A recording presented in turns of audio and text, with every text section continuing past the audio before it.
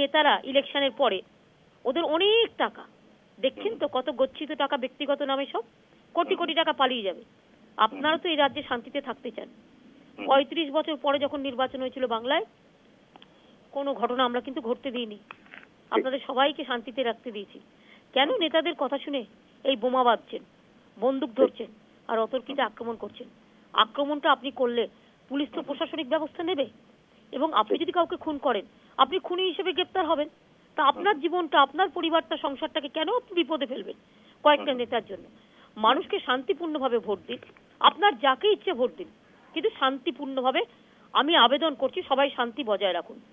যারা শান্তি বজায় না রেখে বোমাবাজি নিয়ে খেলবেন আর বন্দুক নিয়ে খেলবেন তাদের কাছে আমার মানে বিনত বিনম্র আবেদন থাকবে।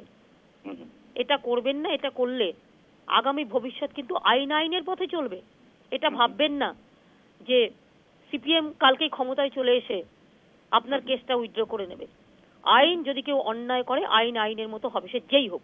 আমি যেমন আইনের ঊর্ধ্বে নই আর একজন নয় ঘরে ঘরে শান্তির আলো জ্বালিয়ে দিন। রমজান মাস চলছে। ওদের শান্তিতে রোজা করতে দিন এটা ত্যাগ তিতিক্ষার মাস। আমি সবাইকে অনুরোধ করব হিন্দু মুসলমান সবাই সাম্প্রদায়িক শান্তি বজায় রাখুন। কোন নেতাদের কথায় না সিপিএম না কংগ্রেস না বিজেপি না মাওবাদীদের কলকাতার কিছু নেতা অথবা তৃণমূল কংগ্রেসকেও আমারও আবেদন। সবাই মাথা ঠান্ডা করে চলুন বিকুল এবং মাথা ঠান্ডা করে ভোট করুন মানুষকে স্বাধীনতা দিন ভোটে।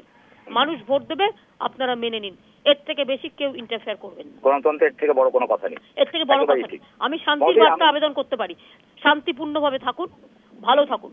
ভালো থাকলে বাংলার মানুষ দুধ ভাত খাইয়ে দেবে। আর বাংলায় অশান্তি করলে মনে রাখবেন মানুষ ক্ষমা করবে না। গণতন্ত্রই শেষ কথা বলবে। আমি শান্তির আবেদন করছি এমনকি দরকার আমি হাতে পায়ে ধরে বলছি। যদিও মুর্শিদাবাদ ইলেকশনে কুড়ি জন তিরিশ জন আগেও খুন হয়েছে অনেকবার। আমি চাই না একটাও খুন হোক। আর দয়া করে বোমা বাঁধা বন্ধ করুন। বোমা বেঁধে ইলেকশন কেন করবেন? মানুষকে বিশ্বাস করুন। ঠিক। মুর্শিদাবাদে কংগ্রেস আপনি যদি এত স্ট্রং হন আর সিপিএম তাহলে আপনি বোমা বাঁধছেন কেন?